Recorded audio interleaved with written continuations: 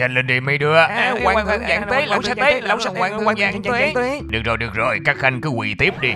Giỡn hoài cha. Nghe nói là muội bắt con ghệ của ta đi ép bưởi có phải không? Muội có biết là trong hoàng cung chỉ có bưởi của mỹ nương là bự nhất không mà đem đi ép uổng vậy? Dạ, thiếp với Mỹ Nương chỉ là trò chuyện thôi Chứ có ép bưởi gì đâu. Em mà nói giống em thảnh cốc. Thật hả? Đứa nào nói láo bà má nó chết chùm nha Biết sao đợi thiếp Mê gái cũng vừa vừa thôi cha. Đợi đợi đợi thiếp với.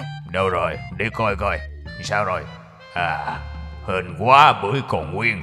Bị sao Hiếp mi. Nàng nói chuyện sao phải treo mỹ nương lên chi vậy hả?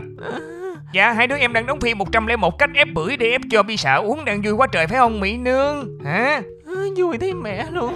Nãy giờ hai đứa em có nói gì mỹ phẩm Em cũng muốn mà không biết mua ở đâu để trắng như Mỹ Nương. Nói từ đây thôi ta hiểu rồi. Để ta lên mỹ phẩm Nanino mua cho nàng. Trên đó có bộ sản phẩm kem nám, tàn nhang, đồi mồi, cao cấp được chiết xuất từ thiên nhiên, Nuôi dưỡng làn da từ sâu bên trong, Tái tạo tế bào da mới. Nó giúp loại bỏ các loại nám Nám lâu năm, sạm da, tàn nhang điều trị được hết Lại còn giúp da đàn hồi Còn làm chậm quá trình lão hóa và dưỡng trắng hồng tự nhiên Đặc biệt là còn ngăn chặn được ánh nắng mặt trời Tia cực tím và tia UV nữa. Có phải công ty nằm ở 1267 quốc lộ 1A khu phố 1 phường An Lạc quận Bình Tân thành phố Hồ Chí Minh không? Không sai. Bị xạ hứa mua mỹ phẩm cho tỷ rồi tỷ thả em ra đi. Cô con kiến nó bò vô háng em nãy giờ em ngứa quá trời luôn mà không gãy nè Thả em ra đi trời ơi.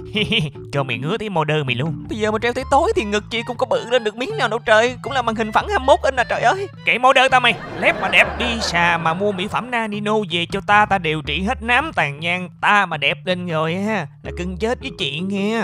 Đừng có tưởng có bưởi thì ngon lắm Ngươi mà không xài mỹ phẩm Nanino Thì còn lâu bây xà mới nhìn đến nhà ngươi Nhét cái khăn vô miệng đó để khỏi chê ta lép coi.